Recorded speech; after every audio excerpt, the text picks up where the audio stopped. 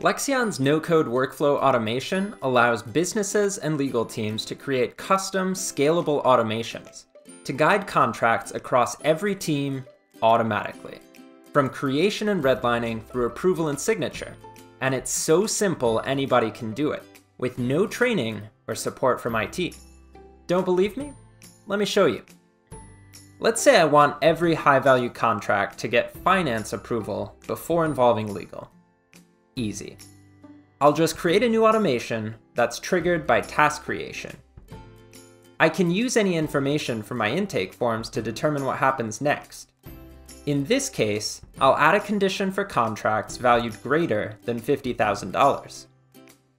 I could add several conditions, but this is all I need for now.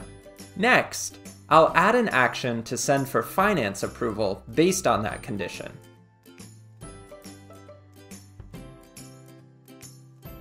And then I'll route for legal and sales approval. I could automate other actions too, from adding owners and followers to generating documents, updating task statuses, and more. If the contract value is less than $50,000, we'll skip finance approval and send straight to sales and legal. And we're done. With a handful of clicks, I've already automated this approval workflow, and it's just the beginning. I can automate all sorts of other tasks too. Here's a workflow I built earlier today for vendor contracts.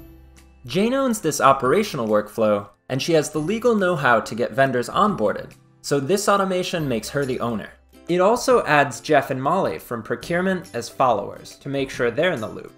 After that, it automatically updates the task status to business review and sends approvals for finance and procurement Next, we'll automatically generate a DPA from our template if we know the vendor will be processing PII.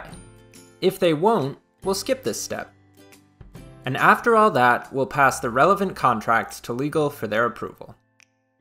All of this automation means serious time saved, which I can spend focused on more valuable work. Visit us at lexion.ai to learn more and to schedule your demo today.